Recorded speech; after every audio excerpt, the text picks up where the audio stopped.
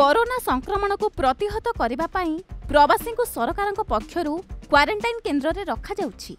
ସେଠାରେ ସେମାନଙ୍କର ସମସ୍ତ ଦାୟିତ୍ୱ ମଧ୍ୟ ବୁଝୁଛନ୍ତି ସରକାର। ତେବେ କ୍ୱାରେଣ୍ଟାଇନ୍ କେନ୍ଦ୍ରରେ ଥିବା ବ୍ୟକ୍ତିଙ୍କୁ ତାଙ୍କ ପରିବାର ଲୋକେ কিংবা অন্য কেহি দেখা করিবাকু নিয়ম নথিবা বেলে যাজপুর জেলা ধনেশ্বর গ্রাম পঞ্চায়েতরে থিবা সংগরোধ কেন্দ্রে এক ভিন্ন দৃশ্য দেখিবাকু মিলিছি সেঠারে সংগরোধরে থিবা ব্যক্তিଙ୍କୁ পরিবার লোকে মন ইচ্ছা দেখা করিবাকু যাউথিবা বেলে ঘর খাইবা নেই যাউথিবা মধ্য দেখিবাকু মিলিছি খালি সেতিকি নুহে বরং সেঠারে কেই জগলে নথিবা মধ্য পরিলক্ষিত হয়েছে তেবে এইসবু দৃশ্যকু দেখিবা পরে প্রশাসনর কড়া ব্যবস্থা উপরে এবে প্রশ্নবাচী সৃষ্টি হয়েছে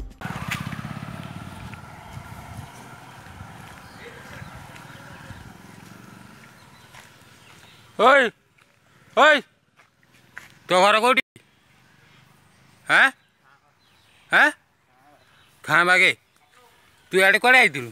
खाइबा तो क्या भाई को को भाई सान भाई को हाँ? सान भाई को तो ना कौन? हाँ? तो हैं? तब ना कौन? राजा। हैं? राजा। तुम सान भाई ना कौन? पापुन पापुन हम्म?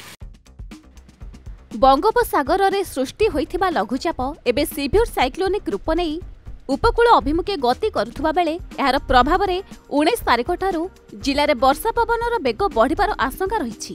ସେଥିପାଇଁ ସମସ୍ତ ଜନସାଧାରଣଙ୍କୁ ସତର୍କ ରହିବାକୁ ଜିଲ୍ଲାପାଳ ଶ୍ରୀ ରଞ୍ଜତ କୁମାର ଦାସ ଅନୁରୋଧ କରିଛନ୍ତି।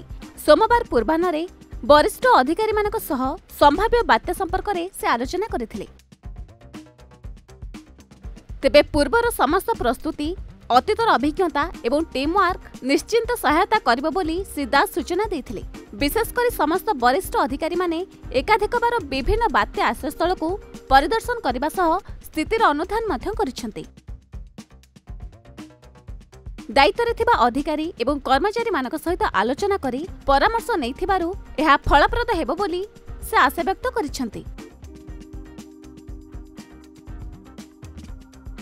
ଜିଲ୍ଲା ସ୍ତରରୁ ଆରମ୍ଭ କରି ବ୍ଲକ ସ୍ତର ପର୍ଯ୍ୟନ୍ତ ସମସ୍ତ କାର୍ଯ୍ୟାଳୟ ଚବିଶ ଘଣ୍ଟା ଖୋଲା ରହିବା ସହ ବନ୍ୟା ନିୟନ୍ତ୍ରଣ କକ୍ଷ ମଧ୍ୟ ଖୋଲାଯାଇଛି। ସେହିପରି ମେଡିକାଲ ଏବଂ ବିଜୁଳି ବିଭାଗ ଜରୁରୀକାଳୀନ ବିଭାଗଗୁଡ଼ିକ ମଧ୍ୟ ଅନୁରୂପ ବ୍ୟବସ୍ଥା କରିଛନ୍ତି।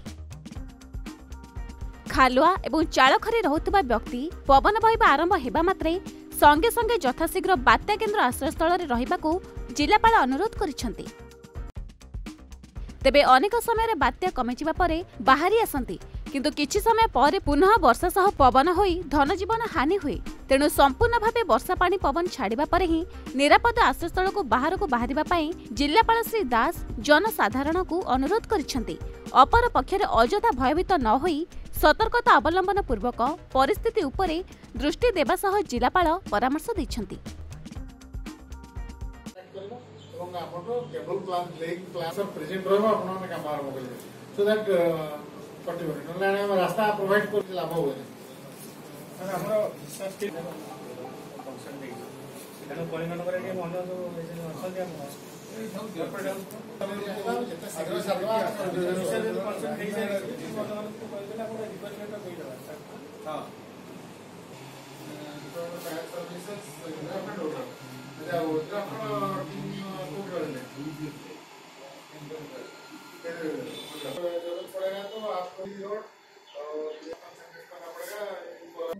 ଦେଖିବା ସିଚୁଏସନ୍ ଦେଖିକି ଆଉ ଆପଣଙ୍କର ସେପଟେ ଦରକାର ପଡ଼ିବ କୋଡ଼ିଏ କୋଡ଼ିଏ ସାଇଡ଼ରେ କୋଉଠି ଦରକାର ପଡ଼ିବ ଆପଣ ସେଠି ଆମର ପୁରୁଣା ହେବେନି ପ୍ରୋବ୍ଲେମ୍ ହଁ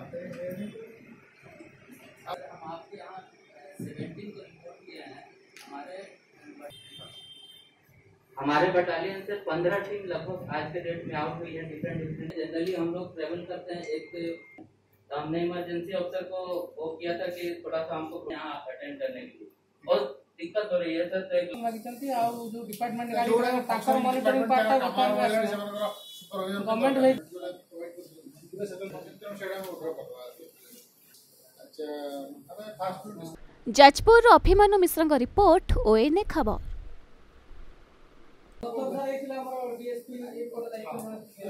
No.